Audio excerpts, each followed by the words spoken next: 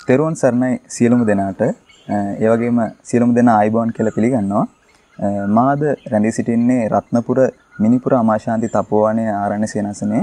ඉතින් මාද ධර්ම සාකච්ඡාව සඳහා යොමු වෙන්නේ රත්නපුර පැල්ලවාඩිය මිනිපුර අමාශාන්ති තපෝවනයේ ආරණ්‍ය සේනාසනාධිපති අවසරයි ත්‍රිපිටක වාගීශ්වර පණ්ඩිත අතිපූජ්‍ය තපෝවනේ රත්න ස්වාමින් වහන්සේ සමගයි තෙරුවන් සරණයි ස්වාමීන් වහන්සේ. තෙරුවන් සරණයි පින්වත් සචිත මහත්මයා.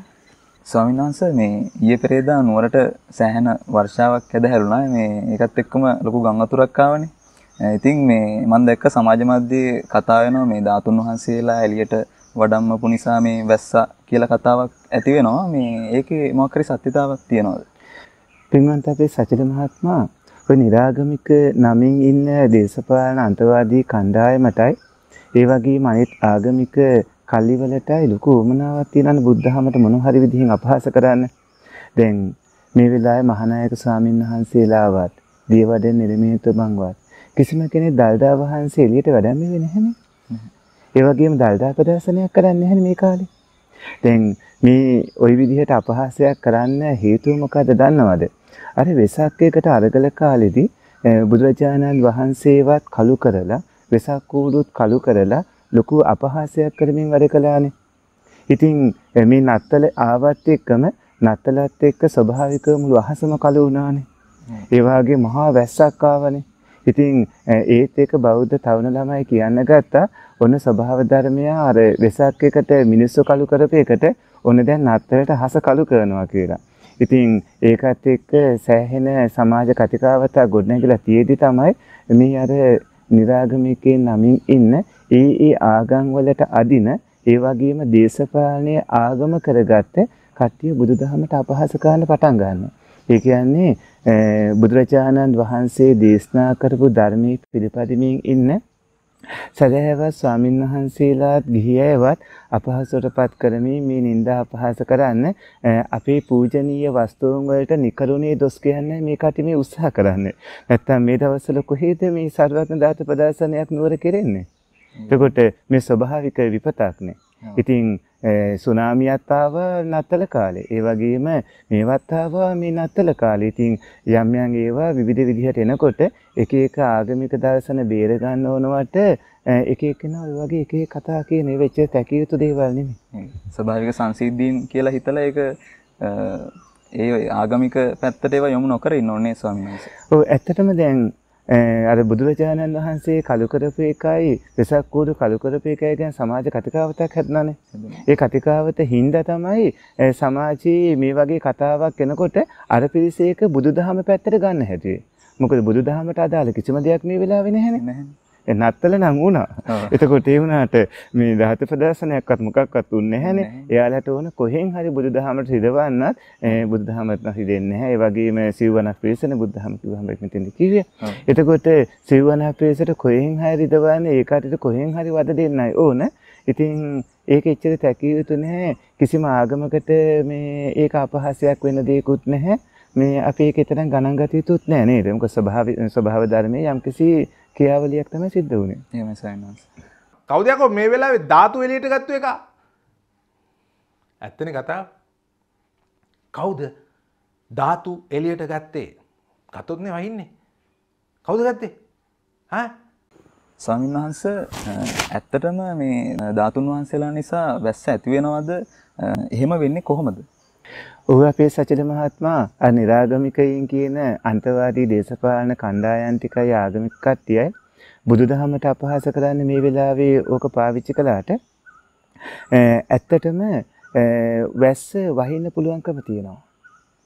ඒ කියන්නේ දැන් අර කටේ කපටි වැඩක් නේ මේ වෙලාවේ කරන්නේ.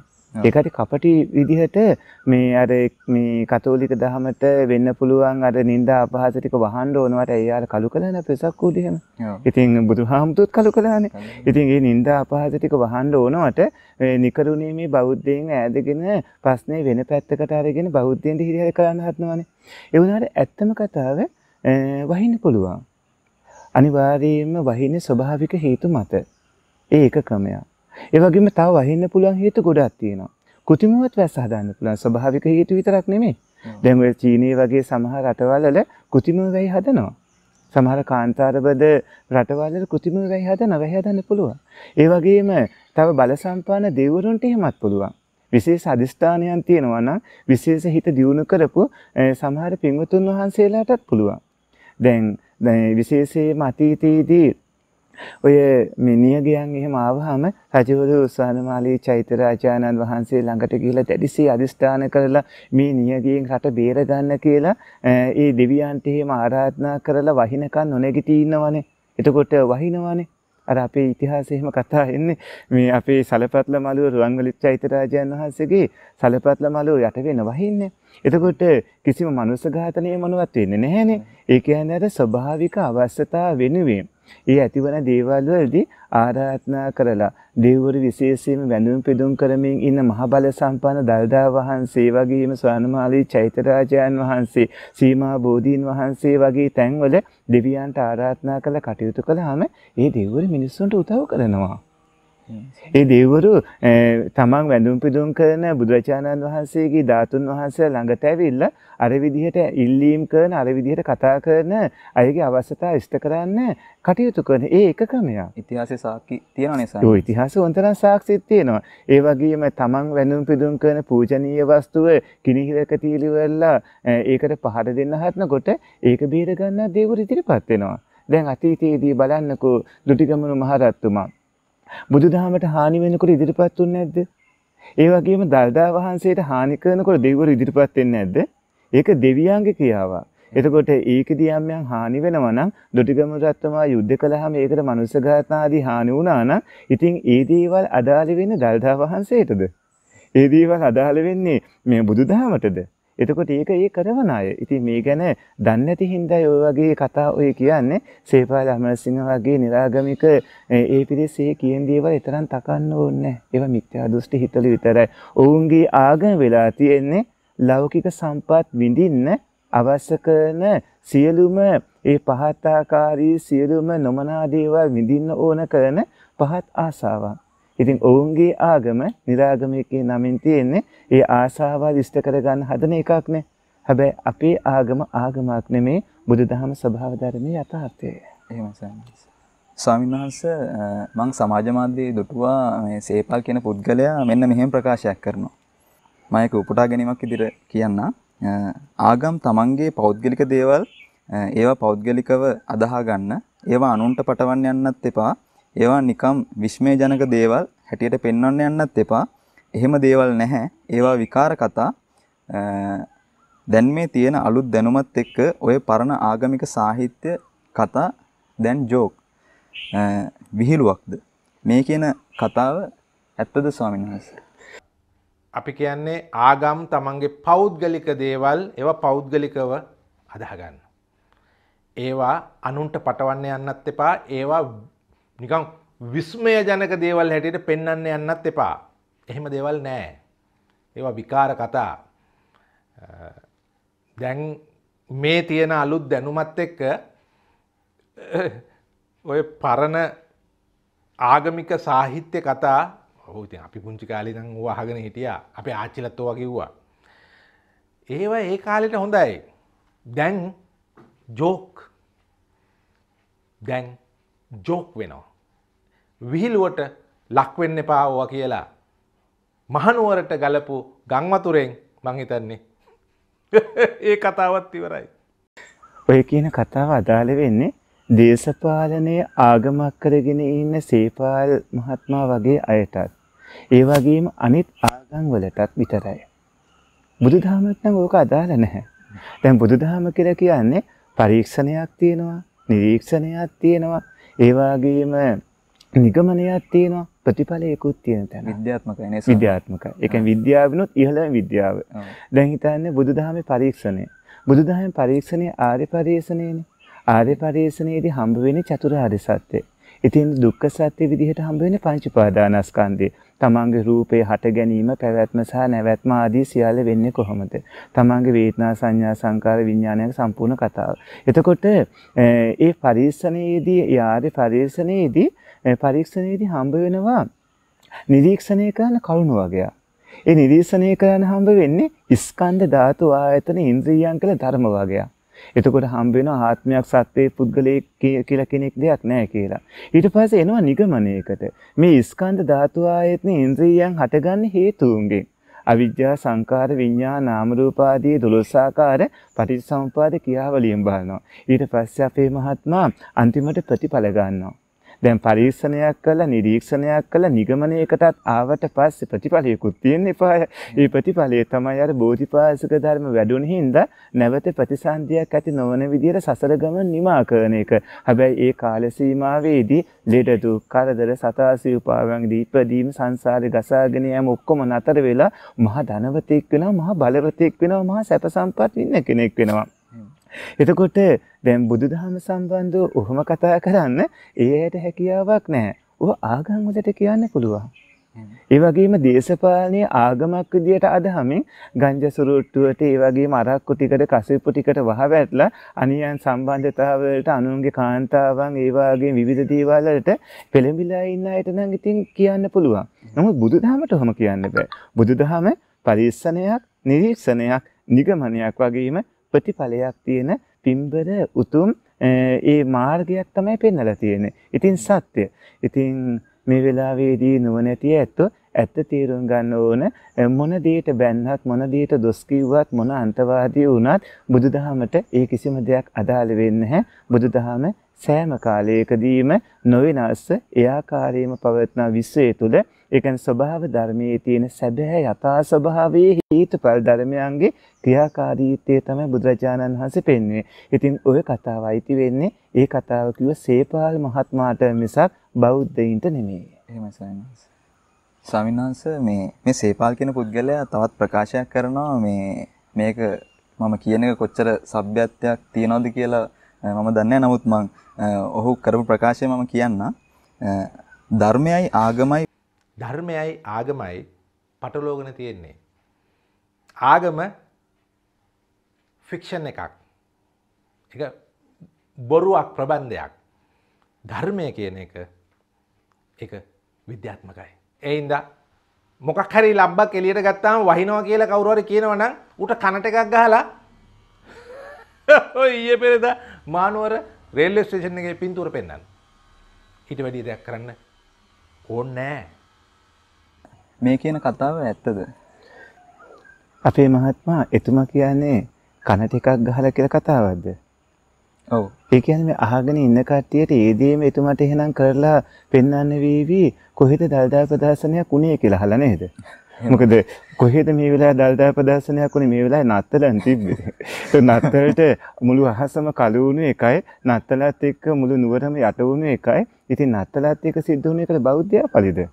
ඉතින් ඒක බෞද්ධයාට අදාළ දෙයක් නෙමෙයි නේ මොකද අපි දල්දා වහන්සේ එළියට වැඩම මෙව මෙන්න මේ නියගයක් තියෙනවා මේ නියගේ නැති වෙන්න කියලා.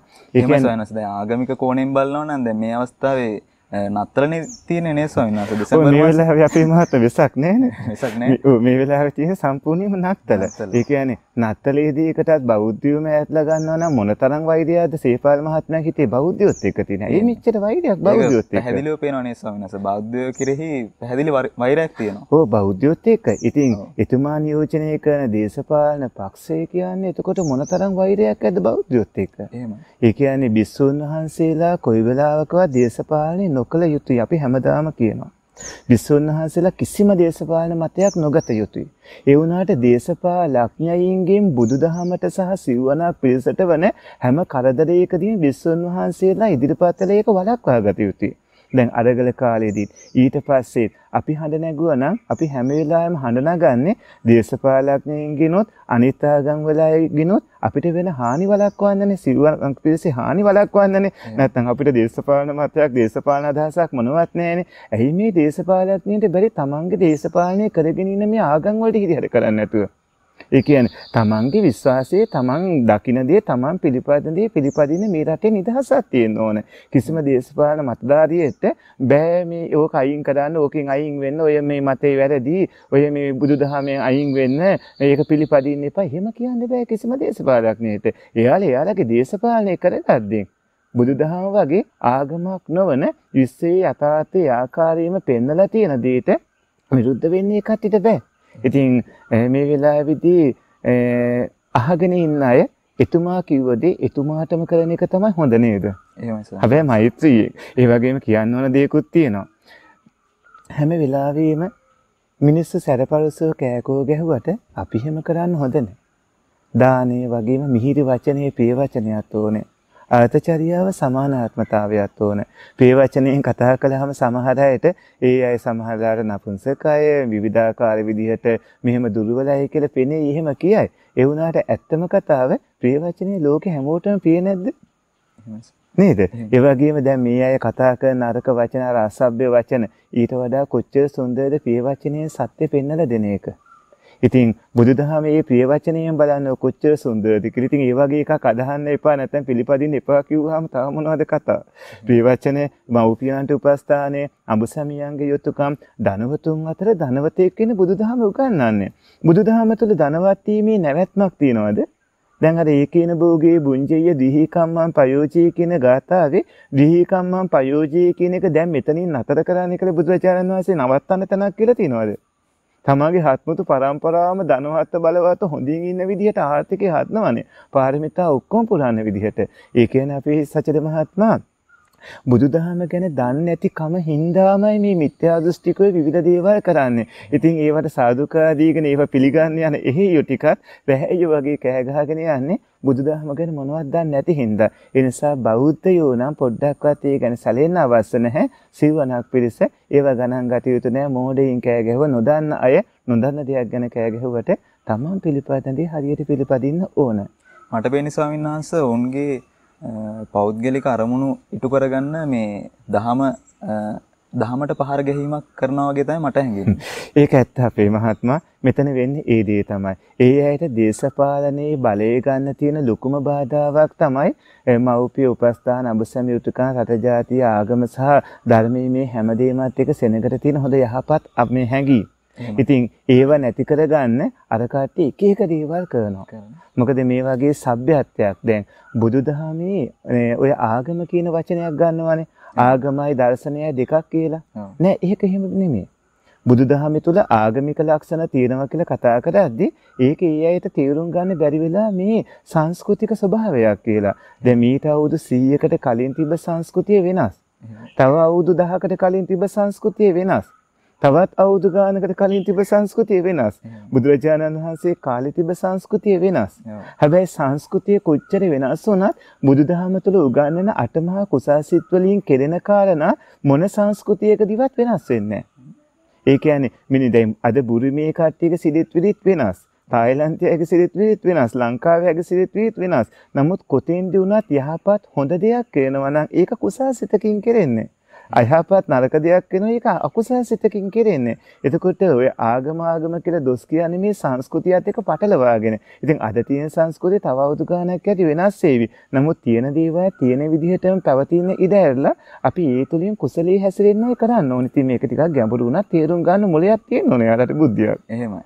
අ, ඔවුන් ස්වාමීන් වහන්සේ ඔවුන්ට විද්‍යාත්මක දැනුමක් තියෙනවා කියලා කිව්ව වුණාට දැන් දහමේ අ, යන්නේ නැතුවනේ මේකේ අඩුපාඩු පෙන්වා දෙන්නේ. ඒ කියන්නේ කිසිම දහමේ අවබෝධයක් නැතුව තමයි ඔවුන් අ, ප්‍රකාශ සිදු කරන්නේ ස්වාමීන් වහන්සේ. ඔව් අපේ මහත්මයා ඒකට විද්‍යාත්මකයි කියලා ඔය අවුරුදු 200කට කලින් එක එකනා කරපු පරීක්ෂණවල මෙන්න මෙහෙම ප්‍රතිඵල කියලා කාලයෙන් කාලට වෙනස් වෙන දේවල් ආගම විදියට අදහාගෙන ඔය ආසාවල් ලෞකික අවශ්‍යතා කාමයේ හැසිරීම අද්‍රව්‍ය ඔය දේවල් වලට ඇබ්බැහි වෙලා ඒව පෙන්නුවාට ඒව ඇත්ත නෙමෙයි. ඉතින් ඒ කට්ටියගේ ඒ දැක්මවල ඔක්කොම හිස් නේද පුස් නේද? ඉතින් ඕම ප්‍රතික්ෂේප කරන්න ඕන අපි. එහෙමයි. වැඩසටහනේ කාලය අ, කෙමින් කෙමින් ගෙවී යනවා. ඒ වගේම මම වැඩසටහනේ අවසාන ප්‍රශ්නයට යමු වෙන්නම්. ස්වාමීන් වහන්සේ මේ සේපාල් කියන පුද්ගලයා අ, ඔහුගේ වීඩියෝයේ අවසානයේ මෙන්න මෙහෙම ප්‍රශ්නයක් යොමු කරනවා.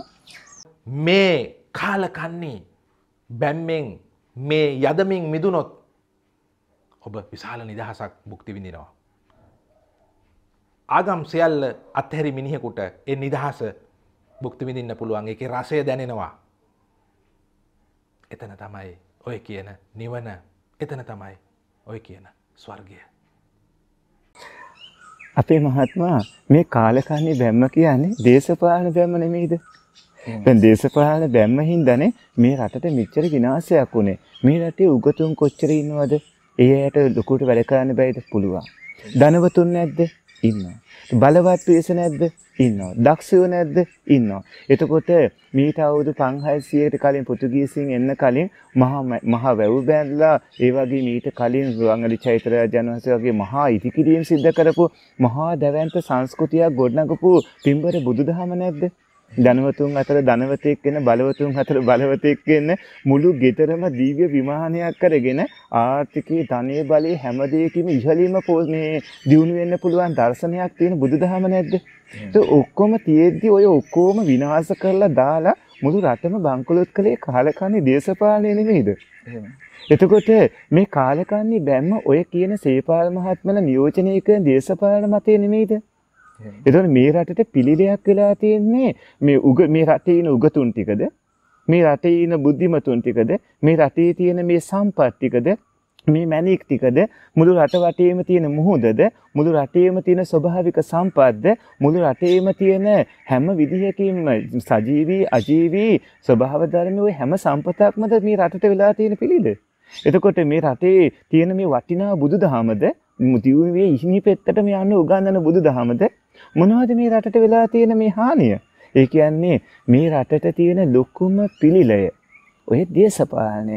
ඒ අය තමයි අවුරුදු 4න් 4ට 5න් 5ට 6න් 6ට ඇවිල්ලා මේ රට බංකොලොත් කළේ විනාශ කළේ. අර පැත්තට ආත්නා මේ පැත්තට ආත්නා මිනිස්සෙට නිදහසේ Taman පිළිගන්න ආගමක් දහමක් දර්ශනයක් පිළිපදින්න බෑ. කතෝලික කෙනාට මුස්ලිම් කෙනාට බෞද්ධයට Taman පිළිපදින දේ පිළිපදින්න නිදහස තියෙන්න ඕන. Taman කැමති දෙයක් කැමති දෙයක් නිදහසේ විශ්වාස කරන පිළිපදින්න තමන්ගේ පවුලේ එක්ක සතුටින් ඉන්න පුළුවන්කම තියෙන්න ඕනේ. මේ අය කියන විදිහට සියලුම දේවල් ප්‍රතික්ෂේප කරලා ඒ අයගේ දේශපාලනයේ විතරක් මේ වැඳගෙන පුදාගෙන කටයුතු කරන මොනතරම් පහක්ද ඒක? සවිනාස දැන් මගේ පෞද්ගලික මතය ඔවුන්ගේ කියන්නේ ඔවුන්ගේ දේශපාලනය විසින් තමයි මේ ආගමික කල්ලි විදියට හදලා මේ මිනිස්සුන්ට වැරදි ප්‍රචාරයක් යවන්නේ නේ ස්වාමීන් අනිවාර්යයෙන්ම අපේ මහත්මයා ඒ කියන්නේ ඔවුන්ගේ දේශපාලනයේ විසින් ඊටාම වැරදි මතයක් සමාජගත කරනවා යාළගේ පහත් අවශ්‍යතා ඉෂ්ට කරගන්න බලය ගන්න. මේ හැමදේම කරන්නේ බලය වෙනුවෙන්, තණ්හා වෙනුවෙන්. නැත්තම් මෙච්චර හැම පැත්තකීම උගතුන්, ධනවතුන්, බලවතුන්, බුදුදහම ඔක්කොම තියෙද්දි මේ රට කාබාසිනිය කල විනාශ කරන ඒ අයනේ. ඒ අයම විනාශ කරමින් ඒ අය තවදුරටත් අර මේ මට්ටමට හරි දැකලා තියෙන බුදුදහම නිසා. බුදුදහම පිළිපදින හින්දා ඒ නිසා ඔක්කොම මේ මට්ටමට හරි ඉන්නවා. නැත්තම් ඒ අය මිනී මරපු විදිහට ඒ කාටි කරලා තියෙන දේවල් වල හැටියට මොනතරම් හානියක් වෙන්න ඕන බුදුදහම නිසා මේ රටේ රත්තරන් මිනිස්සු බුද්ධිමත්ව හිතනවා. ඉතින් සැබෑ ආගම නිවන කියන්නේ ආගම් අත්හැරීම. ඒ කියන්නේ හැබෑ ස්වර්ගය නිවන කියන්නේ ආගම් අත්හැරීම කියලා චේපාල් මහත්මයා කියනවා නම් ඒකට ප්‍රතිඋත්තරේ ඇවිල්ලා සැබෑ ආගම සැබෑ ස්වර්ගය කියන්නේ සැබෑවටම තියෙන බුදුදහම පිළිපැදලා සසරෙන් එගොඩවීම වගේම ඔය කාලකන්නේ දේශපාලන මතවාද සම්පූර්ණයෙන්ම අත්හැරීම. දේශපාලන මතිමතාන්තර ඔය සේපාල මහත්මලා ඔය පිළිපදින දේශපාලන මතේ තන්නේ කරම ප්‍රතික්ෂේප කරන්න ඕන මේ විදිහට හිරිහැර කරනවා නම් කිසිම බිස්සුවක් දේශපාලනය නොකළ යුතුයි. නමුත් බිස්සුවට හෝ සිව්වනක් පිරිසට වන හානිවලදී ඒ හානිය ඇති කරන අයගෙන් මේ පිරිස ආරක්ෂා කරගන්න ඕන. ඒ වෙනුවෙන් හර නගන්න ඕන. ඒ නිසා බුදුදහමට සිව්වනක් පිරිසටත් අත තියන්න හොඳ නෑ කිසිම කෙනෙක්. සැබෑ ස්වර්ගයේ සැබෑ නිවන වෙන්නේ බුදුදහම අනුව පිළිපදිමින් පරීක්ෂණය, නිරීක්ෂණය, නිගමනය සහ ප්‍රතිඵලය ආර්ය පරිශ්‍රණය ස්කන්ධ ධාතු ආයතන ඉන්ද්‍රිය නිරීක්ෂණය ඒ වගේම පටිච්චසමුප්පාද ධර්ම අවබෝධය කියන ඒ නිගමනය ඒ වගේම ප්‍රතිඵලය කියන මඟපල් ලැබීම එහෙමයි සයන්ස්. එහෙනම් අ, සියලු දෙනාට තේරුම් යන්නේ නැති මෙම ධර්ම සාකච්ඡාවේ තිබුණු හරය ඉතින් අපි වැඩසටහන මෙතනින් අ, නිමා කරනවා. ඒ වගේම අපි ස්වාමීන් වහන්සේට බොහොම පිං අ, මේ කාලින ගැටලුව අ, निराකරණය කරලා දුන්නට අ, ඉතින් අ, මේ වගේ වැඩසටහනකදී ඉදිරියේදී අපි හමු වෙමු. සියලු දෙනාට තෙරුවන් සරණයි.